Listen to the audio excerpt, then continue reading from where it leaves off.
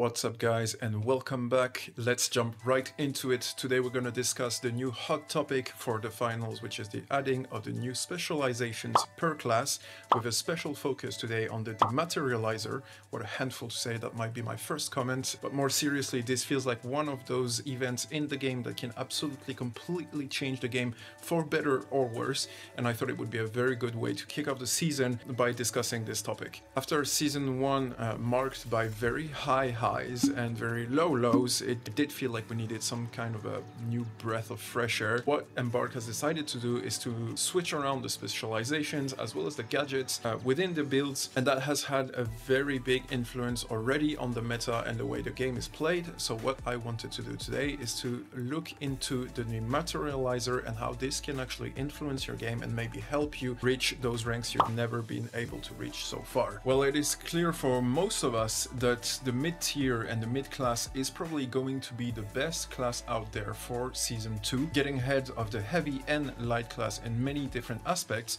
it is still difficult to decide whether the healing beam is still the way to go or if you should actually switch to the dematerializer specialization. On a personal level, while taking in consideration that the meta right now is orientating itself towards a double mid and light or heavy as a third player, um, I would say that at least one of those should should still have the healing beam, but the second one should definitely go for the dematerializer because of the flank power it actually brings to your team, which as we're going to see a little bit later in the video is something that highly influences the game right now and especially on higher tiers of the competitive scene of the finals. This probably means that everybody now has a more key role approach to the game and that people should actually stick to what makes more sense to them, specifically on the mid class. If you do feel like you are a good support, a good medic, please make sure to keep the focus on that specialization while maybe putting back a little bit of your DPS skills, while on the other side you should have the dematerializer mid player who should be focusing more on the damage and bruising of the enemy, if not to say the killing, because they will be most of the time a little separated from their team,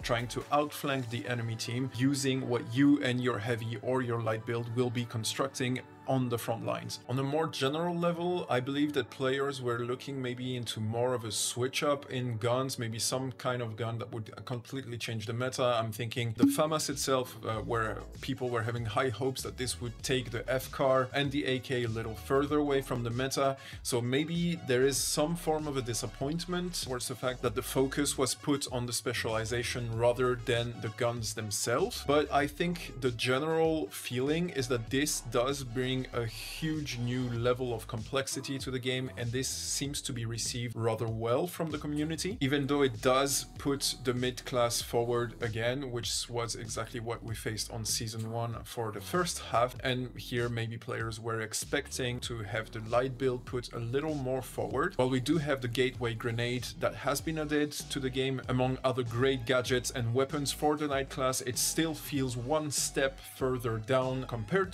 to the mid class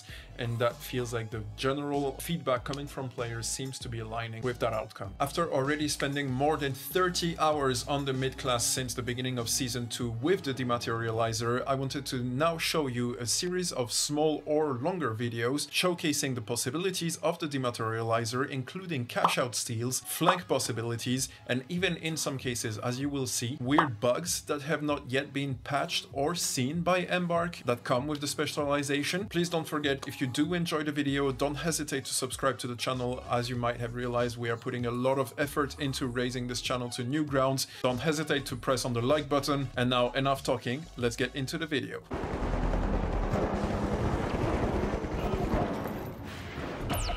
Oh, you died, boys? Hold on, I'm gonna try something.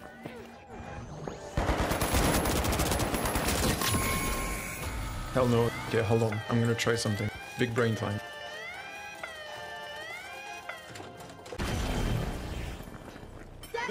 Kingfisher rejoining the match.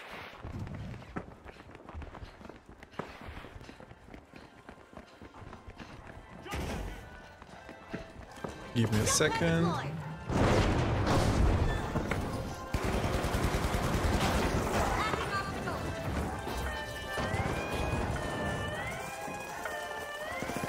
And there you go.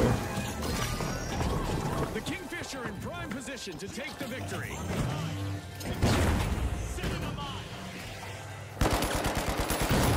One out.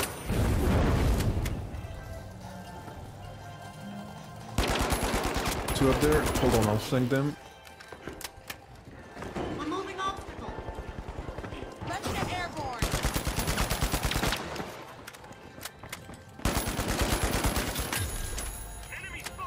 GG boys. It's in. The Kingfish make a bold statement with the first cash out of the match.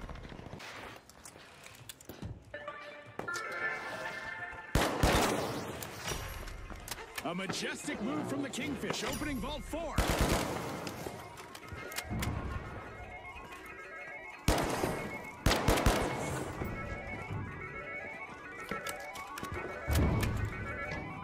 Going to cash out D. Going for cash out station D.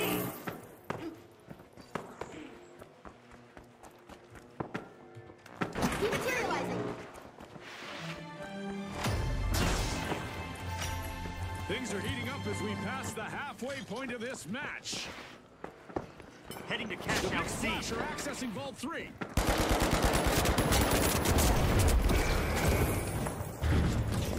Take me up, boys. Take me up. They're coming.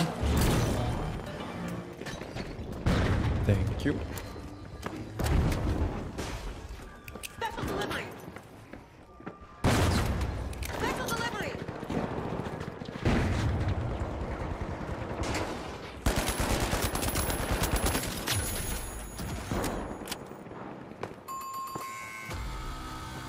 A team-wide mishap for the Vogues. The Big Splash had a cash out in the works. The Big Splash has seized the helm.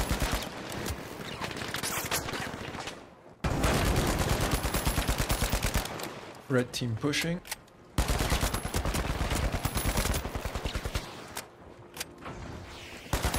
One down. The Vogues are re-entering the arena. Let's get airborne. The Kingfish just jump-started a Two cash down.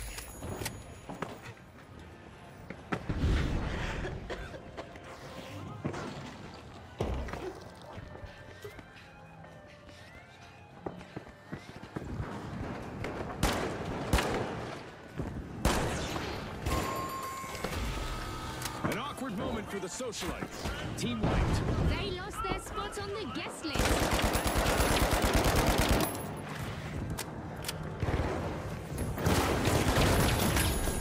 Reloading.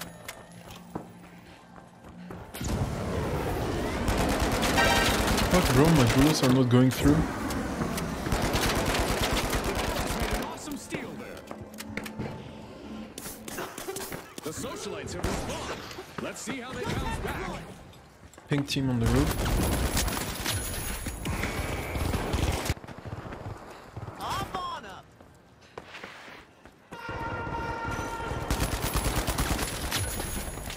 I just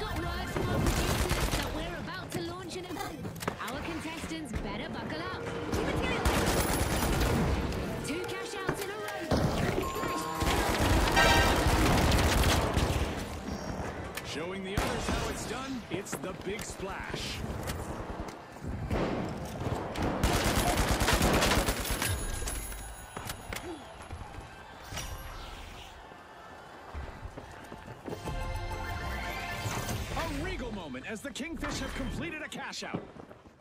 Vault 5 heading out. The socialites have recovered and respawned. A shiny new vault just spawned, June. Let's see who gets to it first.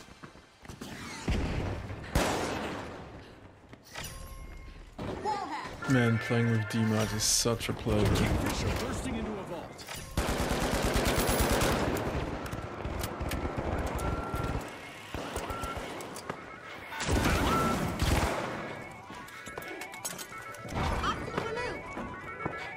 More?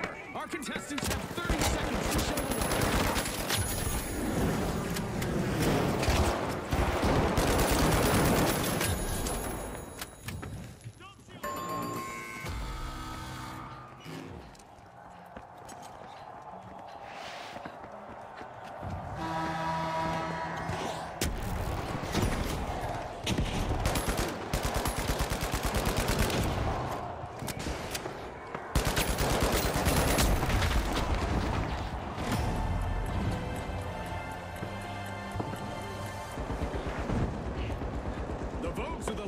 in the arena. Team respawn. Jump pad ready.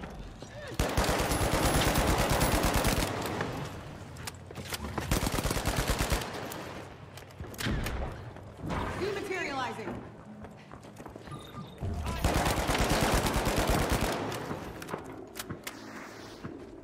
Thirty seconds left, June. Gah! I'm on the edge of my seat